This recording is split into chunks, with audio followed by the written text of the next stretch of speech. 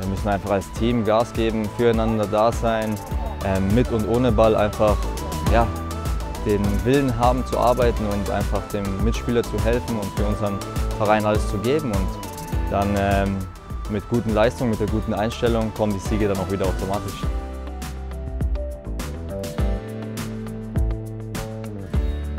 Es ist klar, wir wollen jetzt gewinnen am Sonntag, äh, wir wollen wieder die drei Punkte holen sofort.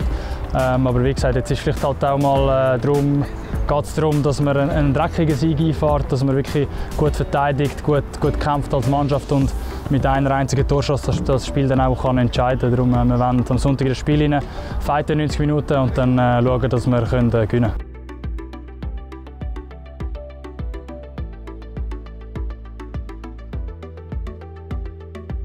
Wir haben jetzt mit dem Cup, äh, Ausscheider im Cup und jetzt mit der Meisterschaft die Resultate jetzt gehabt, sicher ein bisschen, äh, ein bisschen Feuer im Club drin. Darum, äh, äh man weiß nicht so recht, äh, was uns äh, erwarten wird.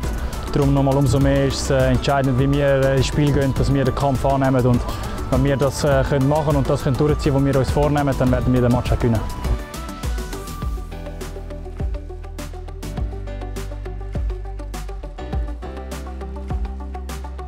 Jubiläumssachen feiern ähm, sind großartig für Vereine, vor allem für große Vereine, für Vereine mit ähm, ja, einer Vergangenheit und einer großartigen Geschichte. Und ich glaube, jeder, jeder Spieler, ich, ähm, wir freuen uns großartig drauf und ich glaube, für jeden FCZ-Fan oder eigentlich für jeden ist es eine Pflichtaufgabe, sich das anzuschauen.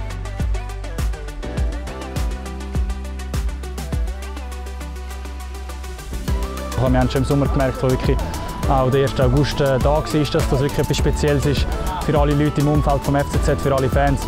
Ähm, ich persönlich ich habe den Film auch gesehen, es ist ein extrem spannender Film, obwohl ich schon so lange im Verein bin und, und eigentlich glaube sehr viel weiß über den Verein, hat es doch noch sehr viele äh, Sachen die mir neu waren und darum äh, ein Muss für jedes, jeden FCZ-Fan.